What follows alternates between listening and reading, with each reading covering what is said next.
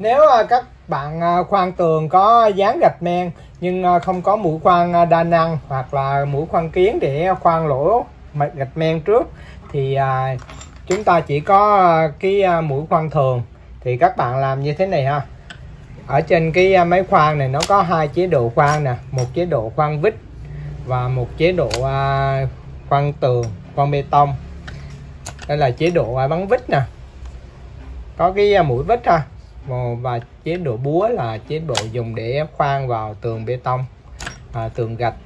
À, chúng ta khoan ở trên cái à, mặt gạch men này nè để cho nó không có bể men. Thì à, để cái à, cái máy khoan ở chế độ khoan vít này chúng ta khoan nhẹ khoan nhẹ qua cái lớp gạch men này. Thì chúng ta chuyển sang à, khoan búa để khoan. Làm như vậy thì nó không có bể men ha nếu à, đặt vào một khoan chế độ búa liền á, thì nó rung lắc mạnh. Nó dễ bị à, bể à, mặt men và bể cái viên gạch men này ra mình có một vài à, kinh nghiệm chia sẻ với các bạn như vậy ha.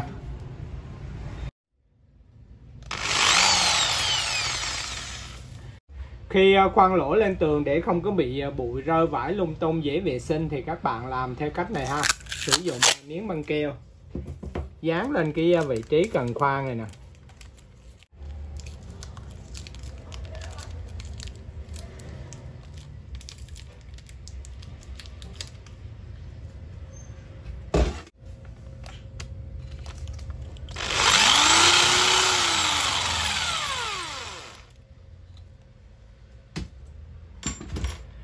Khi à, khoan xong bụi nó nằm ở trên cái uh, miếng băng keo này. Chúng ta vệ sinh rất là dễ dàng ha.